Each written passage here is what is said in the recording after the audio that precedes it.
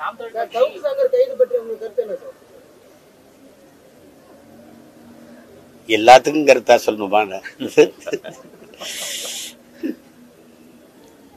கைது அவரு. உயர் காவல்துறை அதிகாரி ஐயா அருண் அவர்களோட அந்த சில பெண் காவலர்களை இணைச்சு பேசுனது வந்து கேட்கும்போதே கஷ்டமா இருக்குல்ல? நமக்கே கஷ்டமா இருக்கு. அப்படிங்கும்போது அது தவிர்த்திருக்கலாம் தம்பி அதை அது அதனால நடவடிக்கை எடுத்திருக்கிறாங்க. அது ஆனா இங்கிருந்து அரை கிலோ கஞ்சா எடுத்ததா தான் க- கைது பண்ணதா சொல்றாங்க. கஞ்சா வச்சது யாரு? கஞ்சா வச்சது யாரு? கஞ்சா கவர்மெண்ட் தான் விற்கிது அப்புறம் போட்டு கஞ்சா விற்குது சாராயம் விற்கிது பார்த்துச்சு. இப்போ எங்கேயும் கஞ்சா விற்கிறவங்கள பிடிக்கிறது இல்லையே ஏன்னு கேளுங்க.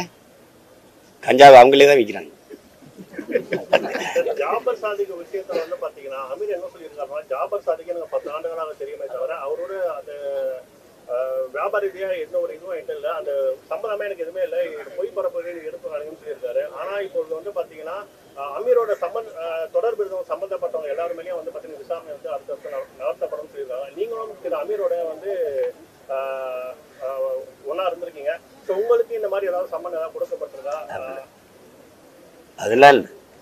சாபர் சாதிக்கு என்ன செஞ்சாருன்னு தெரியாது. அது அமீர் சொல்றதுல இருக்கிற நியாயத்தை உணரணும்ல. ஒரு முதலாளி படம் எடுக்கிறதுனால நீங்கள் காசு எப்படி சம்பாரிச்சிங்கன்னு கேட்டுக்கிட்டு யாரும் படம் எடுக்கிறது இல்லை. நீங்கள் படம் எடுக்க வர்றீங்கன்னா எனக்கு சரி நல்ல ப்ரொடியூசராக நல்ல காசு வச்சுருக்காரு அது படம் அப்படிதான் எடுப்போமே ஒழிய இந்த காசை எப்படி சம்பாதித்தீர்கள்? அது வந்து இன்கம் டேக்ஸ் வேலை. அது அமலாக்கத்துறை வருமான வரித்துறை வேலை. எங்கள் வேலை இல்லை. வாய்ப்பு கொடுத்தீங்கன்னா ஏகி கொடுப்பாரு. அவர் என்ன அதே போல் பிடிபடுற கஞ்சா பொருட்கள் எல்லாமே அஹ், குஜராத்ல அதோட பிஜேபி ஆளக்கூடிய குஜராத் மாநிலத்துல தான் பிடிக்கிறது ஆனா இவர்கள் வந்து பாத்தீங்கன்னா மற்ற மாநிலம் வந்து குறை சொல்றாங்க. இது எப்படி பாக்குறீங்க? அதுவும் அதானியோட அதானி போர்ட்டிலே ஒரு லட்சத்தி முப்பதாயிரம் கோடிக்கு வந்து போதைப் பொருள் வந்து இறங்குச்சு. உங்களுக்கு தெரியும். நான் கூட கேட்டேன். சபர் சாதிக்கு இவ்வளோ பேசுகிற நீங்கள் ஒரு ஒரு இஸ்லாமியருங்கிறனால டக்குன்னு திருப்புறீங்க அதை. நீங்கள் ஒரு லட்சத்து பதினாயிரம் கோடிக்கு வந்துச்சு அந்த கப்பலில். அந்த சரக்கை உள்ளே விட்டீங்களா? திருப்பி அனுப்பிட்டீங்களா? அதுக்கு பதில் இருக்கா? நான் கேட்குறதுக்கு சரி அந்த சரக்கு யாரோடது? நடவடிக்கை எடுத்துல ஒரு கணவன் மனைவி மேல சின்னதா ஒரு இதை போட்டு அப்படியே மூடி விட்டுட்டீங்க. அப்ப அது எவ்வளவு கேள்வி நமக்கு எழுது? அந்த போதைப் பொருளை நாட்டுக்குள்ள விட்டீங்களா? இல்ல திருப்பி கடல்ல கொட்டிட்டீங்களா? இல்ல வெளியில திருப்பி அனுப்பிட்டீங்களா? என்ன நடந்தது சொல்லுங்க. அது யாரு? அந்த முதலாளியார் அதுல என்ன நடவடிக்கை இருந்தது?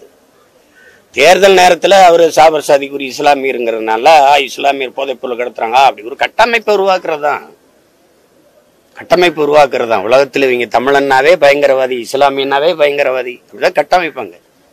இப்போ எங்களை எல்லாம் என்னையெல்லாம் பாஸ்போர்ட்டை பத்து வருஷம் பன்னெண்டு வருஷம் ஆயிடுச்சு. எதுக்கு என் பாஸ்போர்ட்டை பறிச்சு வச்சுக்கிற நீ?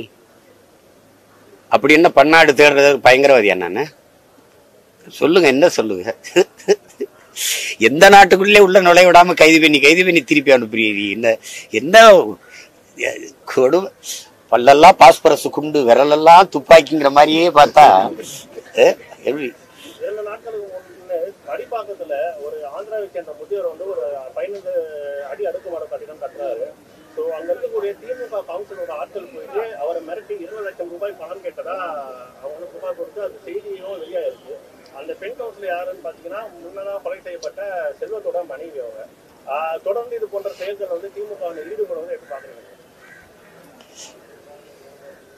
ஒன்று ரெண்டு வெளியில தெரியுது. அதனால நம்ம அதை பேசுறோம்.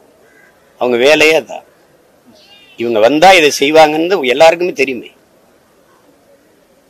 அதாவது திராவிட முன்னேற்றம்னா சொல்லக்கூடாது. திருடர்கள் முன்னேற்ற கழகம் தான் சொல்லணும். அது வேலை தான் அது செய்யும். பொறுப்பாளர்கள்லாம் வீட்டு காவல் வச்சு தடுக்கிற அளவுக்கு காரணம் என்ன கூடிடக்கூடாது எங்க போய் போராடிடக்கூடாதுன்னு தான். அது இப்ப நம்ம என்ன சொல்றோம் அவங்க தற்காலிகமா நிறுத்தி வைக்கிறேன்றாங்க. நம்ம நிரந்தரமா நிறுத்துங்கன்றோம். நீங்க வள்ளலார் பெருமகனாருக்கு மேலே நீங்கள் அவருக்கு வந்து ஒரு ஆய்வு மையம் நடத்துகிறீங்க அவரை பற்றி ஆய்வை கொண்டு வர்றீங்கிறது பெருமை தான். நீங்கள் செய்யுங்க ஒன்றும் வேணான்னு சொல்ல. இப்போ நீங்களே நினச்சி பாருங்க என்னமோ நேற்று தான் அவர் இறந்து போனார் இன்னைக்கு இது பண்ணுற மாதிரி. அவர் எவ்வளோ காலம் ஆயிடுச்சு அந்த பெருவழிங்கிறது பத்து லட்சத்துக்கு மேற்பட்ட மக்கள் நின்று வழிபடுகிற இடம். அந்த இடத்த தோண்டாதீங்கிறோம் வேற இடத்துல கட்டுங்க வேற இடத்துல கட்டுங்க. நீங்கள் ஆய்வு மையத்தை வேற இடத்துல நிறுவுங்கன்னு தான் சொல்கிறோம் வேணான்னு சொல்ல. நீங்க ஆயிரம் கோடி கூட நிறுவுங்க. நூறு கோடி இன்னும் ஒரு தொள்ளாயிரம் கோடி கூட போட்டு கூட பண்ணுங்க. எங்களுக்கு வேணான்னு சொல்ல. ஆனா அந்த இடத்த நின்று வழிபடுற இடத்த செய்யாதீங்க. மக்களின் உணர்வுக்கு மதிப்பளிங்க. அந்த குழிக்குள்ள இறங்கி அந்த அத்தனை பெண்கள் ஆண்கள் போராடுறதுல என்ன வேலை இல்லாத வெட்டி வேலையாது பொழுதுபோக்குக்கு போராடுறோமா என்ன? அதை புரிஞ்சுக்கணும். அரசு வந்து மக்களின் மன உணர்வுக்கு அதுக்கு வந்து மரியாதை கொடுக்கணும். அதுதான் மக்களுக்கான ஆட்சி. மக்களுக்கான அரசா இருக்க முடியும். அவர் கேட்குறாரு பாருங்க. மேல்மாவில் எவ்வளோ காலமாக போராடுறாங்க? பரந்தூரில் எவ்வளோ காலமாக போராடுறாங்க? போராட்டங்களை எப்படி திணிச்சுக்கிட்டே இருந்துட்டு மீனவர் வந்து போராடுறான் மாணவர் போராடுறான் போக்குவரத்து தொழிலாளி போராடுறாங்க விவசாய பெருமக்கள் போராடுறாங்க மருத்துவர்கள் போராடுறாங்க ஆசிரியர் பெருமக்கள் போராடுறாங்க. எல்லாரும் வீதிக்கு வந்து போராடிக்கிட்டு இருக்கும்போது நாங்கள் நல்ல ஆட்சி கொடுக்குறோம். ஈடு இணையற்ற ஆட்சி இரண்டாண்டை சாட்சின்னா உங்களுக்கு இருக்கா மனசாட்சின்னு கேட்க வேண்டியது இருக்குதுல்ல? சொல்லுங்க நீங்க எதை சிரிக்கிறீங்கல்ல? இதெல்லாம் ஒரு இது இதெல்லாம் நம்பி இது என்ன உங்களுக்கு பார்த்தீங்கன்னா இது தேர்தல் அரசியல் கட்சி அரசியல் தான். மக்கள் அரசியல் இல்லை. இங்க வெறும் செய்தி அரசியல் தான். சேவை அரசியலோ செயல் அரசியலோ கிடையாது. செய்தி அரசியல். ஆயிரம் ரூபா கொடுக்கறதுக்கு ஆறு மாசத்துக்கு முன்னாடி இருந்து விளம்பரம் செஞ்ச ஒரு அரச பத்திரிக்கையில செப்டம்பர் பதினாறிலிருந்து இருந்து ஆயிரம் கொடுக்க போகிறோம். அதுக்கு ஆறு மாசமா விளம்பரம். இந்த ஆயிரம் ரூபாய கொடுத்துட்டு அதான் ஆயிரம் முறை சொல்லி காட்டுறது. ஆயிரம் ரூபாய் வந்துச்சா வந்துச்சா உங்களுக்கு வந்துச்சா மிச்சம் பண்ணி வச்சிருக்கீங்களா? ஆமா ஆமா உங்களுக்கு செலவுக்கு இல்லைன்னா தாரம் தாங்க. மிச்சம் பண்ணி வச்சிருக்கீங்க. இதெல்லாம் ஒரு இதுன்னு. தேர்தல் அரசியல் அண்ணன் என்ன சொல்றேன்? மோடி வந்து இரநூறுவாய் சிலிண்டர் குறைக்கிறாரு தேர்தல் அடுத்த வாரம் தேர்தல் இந்த இப்ப குறைக்கிறீங்கன்னா இந்த தேர்தல் அரசு ரெண்டு ஆண்டுக்கு முன்னாடி குறைச்சிருந்தீங்கன்னா அது மக்கள் அரசியல். அப்ப தேர்தல் நேரத்துல வந்து இனிப்பான பசப்பான வார்த்தைகளை சொல்ற நாங்கள் வந்தால் அதை செய்வோம் இதை செய்வோம் அப்படி பண்ணிடுவோம் இப்படி பண்ணிடுவோம். இதை இதை ஒழிக்கணும்னு நினைக்கிறோம். எல்லாரும் காங்கிரஸோட தேர்தல் அறிக்கையில பெண்களுக்கு வந்து ஒரு லட்சம் ரூபாய் வந்து கொடுக்கப்படும்ன்ற மாதிரி ராகுல் காந்தி தேர்தல் அறிக்கையில சொல்லியிருக்காரு. ஆனா இப்ப இருக்கக்கூடிய நிதி நெருக்கடி சூழல்ல அந்த திட்டம் வந்து செயல்படக்கூடாத சாத்தியம் இருக்கா? ஏன்னா இப்ப ஆயிரம் ரூபாய் கொடுக்க சொல்லிட்டு போறதானே சும்மா? பதினஞ்சு லட்சம் வங்கியில போட்ட கதை தான் நூற்றி ஐம்பத்தாறு லட்சம் கோடி கடன் இருக்கு. நூற்றி ஐம்பத்தாறு லட்சம் கோடி கடன். இதில் எதுக்கு ஒரு லட்சம் ரூபா கேட்டாங்களா பெண்கள்? எங்களுக்கு மாதம் மாதம் ஒரு லட்சம் கொடுத்துருங்க அப்படின்னு. இதெல்லாம் எவ்வளவு ஏமாற்றானது? ஒரு நிரந்தர வருவாய் பெருக்கத்துக்கு வருவாய் ஈட்டிக் கொள்வதற்கு மக்களுக்கு வேலை வாய்ப்பு அது சார்ந்து திட்டங்கள் வகுத்து அப்படி கொண்டு போனதான் அந்த நிரந்தர வறுமை போகும் ஏழ்மை போகும் பசி போகும். அந்த நேரம் ஆயிரம் ரூபாய் கொடுத்து விட்டுறது தேர்தல் நேரத்தில் ஒரு ஆயிரம் இருந்து கொடுத்துருது இப்போ நூறு நாள் வேலை நூறு நாள் வேலைக்கு சம்பளம் போடுறதுக்கு ஒன்று காசு இல்லை. இப்ப இப்ப நீங்க எடுத்துக்கணும். நம்ம கவு நம்ம அரசு எடுத்துக்கிறோங்க. எதுக்கு அறுபது வயசாச்சு? ஓ- ஓய்வூதியம் ஓய்வு பெற வயசு அறுபது ஆச்சு ஐம்பத்தெட்டு வயசுல ஓய்வு பெற்றா அவனுக்கு ஓய்வூதியம் கொடுக்கணும். ஓய்வூதியம் கொடுக்கணும்னா அது காசு இல்லை உங்ககிட்ட. அதனால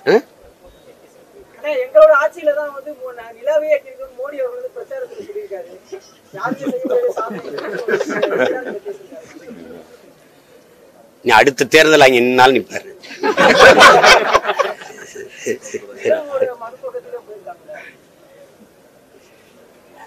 அதனால என்ன ஆயிடுச்சு சொல்லு? இருபத்தி எட்டு விழுக்காட்டு மக்கள் இரவு உணவு இல்லாம தூங்க போறாங்க. பல கோடிக்கணக்கான பச்சில குழந்தைகள் பசியோடு படுக்க போகுது. இது பேசிட்டு நீங்க இவங்க வருவாங்க சீ சீ இதை நாய் செய்யுமா? கக்குஸ் கட்டி போங்கலும்பாங்க வீடே இல்லடா வெட்டி போயில இதுல கக்குஸ் கட்டி எங்கிட்டு போறது ஆ? அது மாதிரிதான் இது. நிலவுக்கு அங்கே போயிட்டு இருப்பான் அப்படியே சந்திராயனுக்கு போய்கிட்டு இருக்கும் மேலே பறக்கும். எங்காலும் சாக்கடை அல்றதுக்கு மூழ்கிட்டு இருப்பான். பூமிக்குள்ளே. இங்கே தண்ணிக்கு சாக்கடை குழிக்குள்ள. வளர்ச்சியை சொல்லிக்கிட்டு இருக்க நீ. இதெல்லாம் வளர்ச்சி. நான் போய் என்ன நடக்குது? அங்கே காற்று இருக்குதா? அங்கே தண்ணி இருக்குதா? இங்கே வாப்பா. இங்கே காற்று இல்லை பாருப்பா. நஞ்சாயிருச்சு. தூசி ஆயிடுச்சு இங்கே வாப்பா. குடிக்க தண்ணி இல்லை. விஷமாயிருச்சு. வந்து பாருப்பா. இதை சரி பண்ணுப்பா. இதை விட்டு விட்டு அங்கே போய் சந்திராயன்ல இருக்கு அங்கே போய் சந்திர மண்டலத்துக்கு குடியேற்ற பாருங்க யார் முதல்ல இந்து குடியேற்றுவியா இஸ்லாமியனை குடியேற்றுவியா இல்ல கிறிஸ்தவனை குடியேற்றுவியா நீ போய் குடியேறதுக்கு அமெரிக்கா ரஷ்யாலாம் வேடிக்கை பார்த்து அப்படி இருப்பான். தெண்ட செலவு தெண்ட செலவு. சும்மா போய். அதே போல மோடி வந்து தேர்தல் பரப்புரையில வந்து பாத்தீங்கன்னா தன்னோட தன் பத்தாண்டுகள் செய்த ஆட்சியில உள்ள நலத்திட்டங்களை சொல்லாம வெறுப்பு பிரச்சாரங்களே முன்மொழிஞ்சுட்டு இருக்காரு இருந்தா தானே சொல்லுவார் தம்பி. அதை நான் பல தடவை கேட்டேன். ஒரே ஒரு ஒன்னு ஒன்னு சொல்லு பத்தாண்டுகள்ல ஒரு ஒத்த சாதனையை சொல்லி ஓட்டு கேளுங்கன்னு கூட கேட்டேன். நான் கூட தமிழ்நாட்டுல கூட கே- முன் வச்சேன். பாரதிய ஜனதாவுக்கு நாங்க எதுக்காக ஓட்டு போடணும்? இந்த காங்கிரஸ் இந்த பிஜேபி இந்த நாட்டுக்கு எதுக்குன்னு சொல்லுங்க. இல்ல எங்க தமிழ்நாட்டுக்கு குறிப்பா எதுக்கு? எனக்கு எதுக்கு? ஒண்ணுமே இல்லையே. பத்து ஆண்டுகள்ல ஒண்ணும் இல்லாத போது வெறுப்ப பேச வேண்டியதான்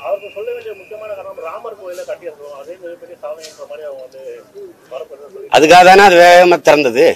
முழுக்க கட்டிட்டாரா? முதல் தளம் போட்டு மேல செட்டை போட்டு திறந்து விட்டாங்க தேர்தல் வர்றதுனால. ராமர்கிட்ட தானே அந்த கோயில் வாசல்ல நின்று ஓட்டு கட்டு போக வேண்டியதானே சொல்லுங்க.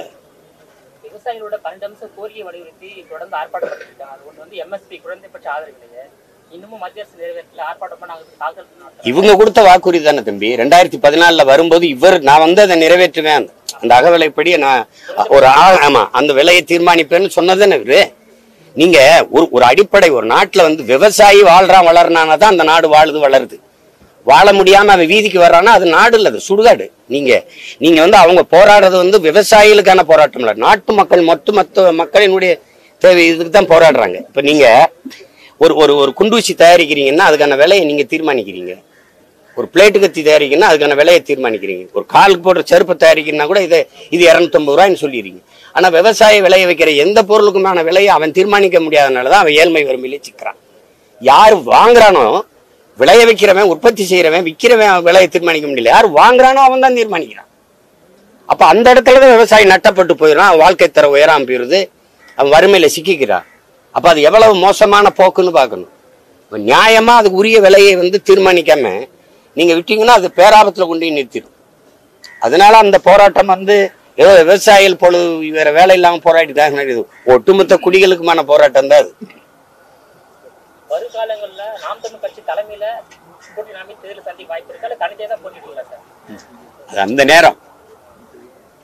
அந்த நேரத்துல நம்ம வந்து ஒரு குறிப்பிட்ட விழுக்காட்டு வாக்குக்கு மேல போன பிறகு இந்த பிள்ளைங்க வென்றுவாங்கன்னு நம்பிக்கை வச்சா சில க நம்ம ஒத்த கருத்துள்ள கட்சியில் வந்து கூட்டணி வைக்க வரும்.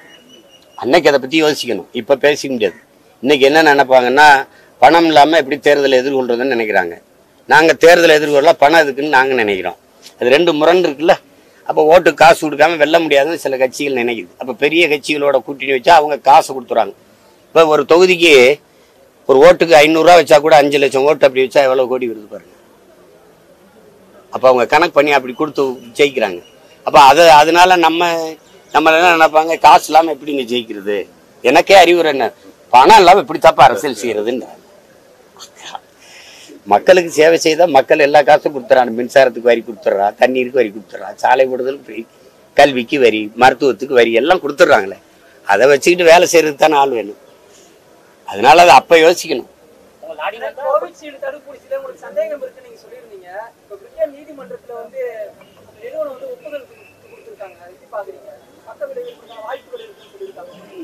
இருக்குன்னு தான் நான் போடல.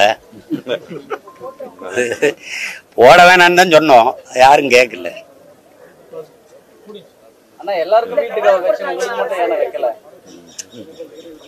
எனக்கு எத்தனை போலீஸை நிறுத்துறதுன்னு தெரியாம.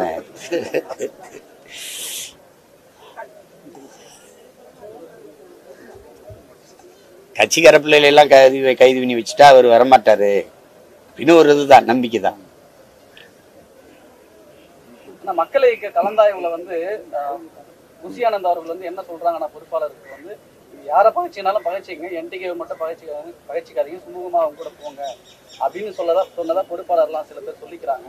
எதனாலன்னு நினைக்கிறீங்க? விஜய விஜய் அவர்களே சொன்னதா? அண்ணன் மேல இருக்கிற அன்பு தான்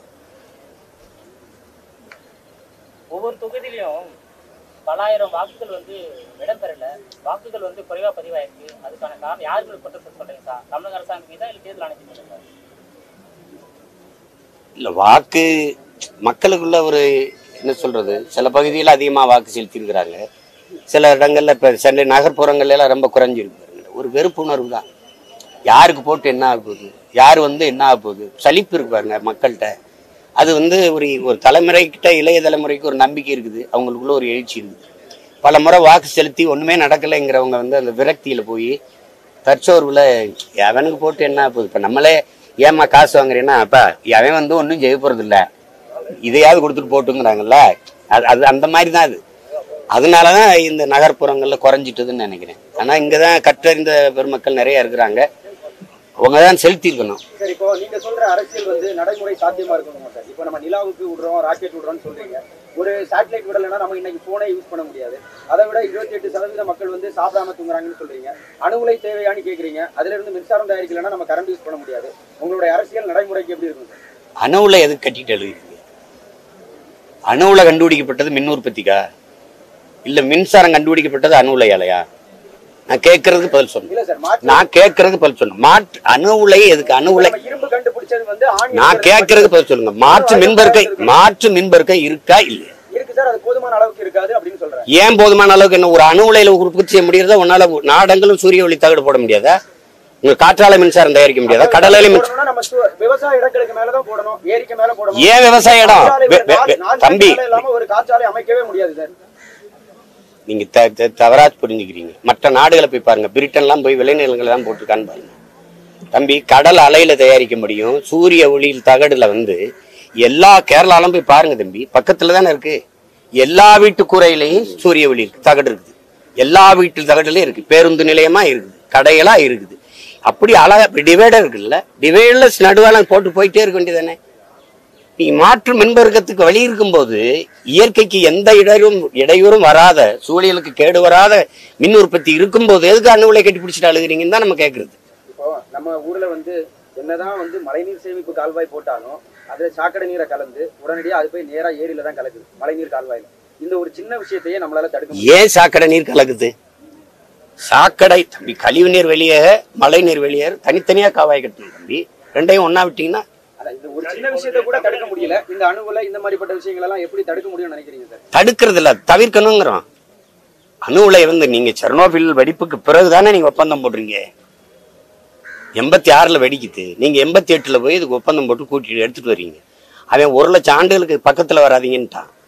புகுசிமால செர்னோபில்ல வெடிச்சது மாதிரி இங்க வெடிச்சதுன்னா என்ன ஆகும் மாற்று மின்பெருக்கை இருக்கும்போது நீங்க அதைத்தான் பெருக்கிட்டு போகணுமே ஒழிய சூரிய ஒளியில் மின்சாரம் காற்றாலையில் மின்சாரத்தில் தான் பெருக்கிக்கிட்டு போகணுமே ஒழிய நீங்கள் தீர்ந்து விடுகிற வளம் பேராபத்தை தரக்கூடிய வளங்களை பிடிச்சிக்கிறீங்க.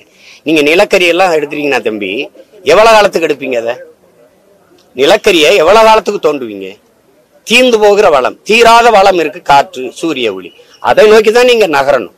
அந்த உற்பத்தியை பெருக்குங்க. அதை பெருக்குங்க. நீங்கள் கரட்டு காடுகள் இருக்குது மலை முகடுகள் இருக்குது எவ்வளவோ வ- இது வ- விளை விளைச்சலுக்கு பயன்படாத கா கரடுகள் இருக்குது அதுகளில் போய் நீங்கள் சூரிய ஒளி மின் பூங்கா போடுங்களேன் யாரும் வேணான்னா நீங்கள் ஒரு அஞ்சாண்டு என்கிட்ட கொடுத்து பாருங்களேன். நீ அதை தனியார் கொடுக்குற. சூரிய ஒளியில் மின்சாரத்தையும் காற்றாலை மின்சாரத்தையும் ஏன் அரசு வச்சுக்கிறது இல்லை? ஆபத்தான அனல் அணு இதையெல்லாம் நீங்கள் வச்சுக்கிறீங்க. இதை தனியார் முதலாளிக்கு எதுக்கு தர வைத்து கொடுக்குறீங்க? அதை நம்ம செய்ய முடியாதுன்னு சொல்லாதீங்க. நோக்கம் இல்லை உங்களுக்கு. நீங்க பர்ச்சேஸ்ல தான் நீங்க இன்வெஸ்ட் பண்றீங்க. ப்ரொடக்ஷன்ல இல்ல. நீங்க பத்தொன்பதாயிரம் கோடி இருபதாயிரம் கோடின்னு வாங்குறதுல தான் முதலீடு செய்யறீங்களே ஒழிய ப்ரொடக்ஷன்ல நீங்க இப்போ உற்பத்தியில நீங்க முதலீடு பண்ணீங்கன்னா அது நிரந்தர தீர்வா வரும். நீங்க வாங்குறீங்க. வாங்கும்போது ஒரு யூனிட்டுக்கு பத்து காசு வச்சா கூட பலாயிரம் கோடி அடிச்சிடுங்க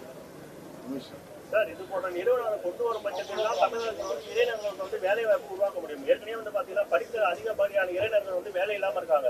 அந்நிய முதலீடு வரக்கூடாது. ஆஹ் வெளிநாட்டு கார் கம்பெனிகள் வரக்கூடாதுன்னா வேலை வாய்ப்புகள் அரசாலை எப்படி உருவாக்க முடியும்? அனைவருக்குமே வந்து பார்த்தீங்கன்னா அரசு வேலையை கொடுக்க முடியாதுல்ல. அது அனைவருக்குமே அரசு வேலை வேணும்னா யாருக்குமே வேலை இருக்காது.